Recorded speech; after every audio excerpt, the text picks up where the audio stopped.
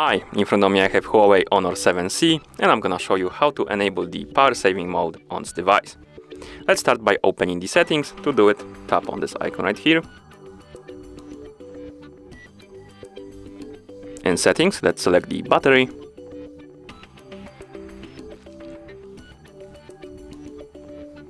And here we have power saving mode. We can enable it by tapping the slider next to it and then tapping enable like this.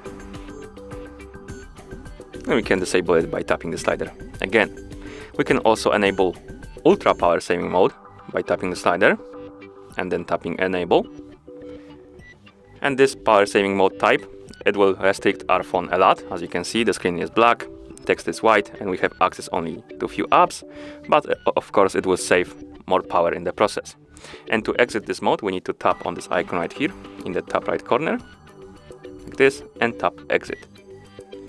We can also enable the ultra power saving mode a quicker way. Instead of going to settings, we can open the quick panel by swiping twice from the top of the screen, like this. And here we have ultra battery saver icon. We can tap on it and tap on enable to turn it on. And of course to exit, tap on this icon right here and tap exit. And that's how you enable the power saving mode on this device. Thank you for watching. If you found this video helpful, please consider subscribing to our channel and leaving the like on the video.